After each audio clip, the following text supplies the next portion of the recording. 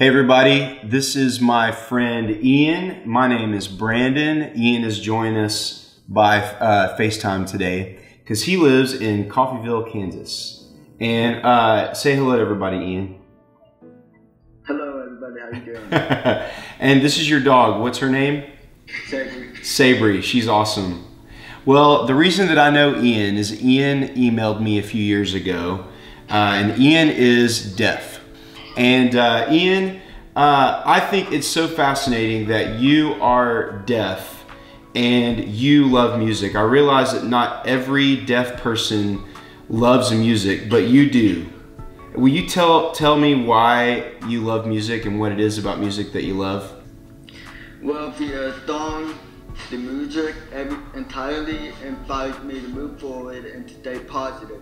It helped me go through the rough days and make it a better day. Though Dawn helped me out really well. yeah, me too. We're, we're not we're not that different from each other. It turns out. Uh, so Ian, um, you the first email you sent me was you interpreting "Give Me Your Eyes," my song "Give Me Your Eyes." So tell me, uh, what is it about "Give Me Your Eyes" that connected with you?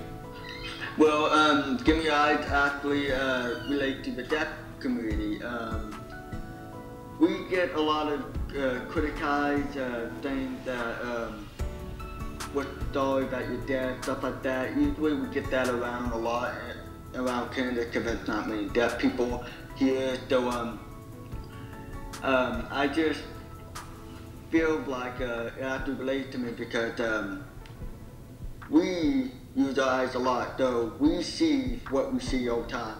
So we see criticized, we see a lot of bad things, but we also see good things too. So we learned a lot from learning, reading, stuff like that. So we use all our eyes a lot to lip, read, stuff like that. Mm-hmm. A lot of stuff.